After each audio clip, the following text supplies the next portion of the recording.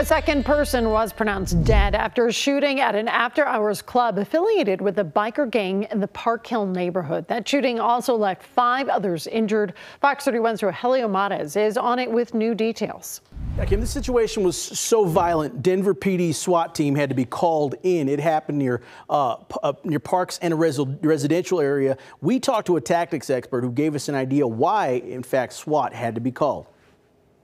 The Hells Lovers Motorcycle Club was ground zero for a shooting early Sunday morning. We've got potentially people inside this establishment now that are armed and that, that puts officers at a huge amount of risk. After the shooting, Denver police said some folks stayed in the building. Tactics expert James Albee says that creates a hazard for responding officers. Once they realize that there was people in there, they're going to call the SWAT team in there to try to defuse and try to de-escalate and make sure that the officers can go in there and execute those warrants without anybody else getting hurt. Our cameras caught sight of some people being led away from the crime scene in handcuffs, another safety tactic, according to Albee. Anybody that's in the area that could potentially be involved everybody's going in handcuffs until they can figure things out, and that's for officer officer safety um, and absolutely for the for the community safety as well. Early this morning, DPD alluded to past violent crimes in the area. Albee says it's a tough spot to be in if your job is to keep this neighborhood safe. I don't want to say it can't be prevented, but we don't we don't have enough information on the front side of this to to be able to be proactive and and